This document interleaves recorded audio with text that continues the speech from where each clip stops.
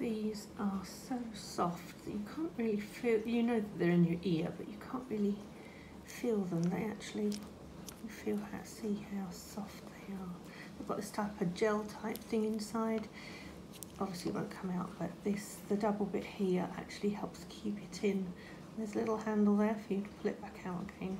You can still hear very, very mild noises, very mild noises.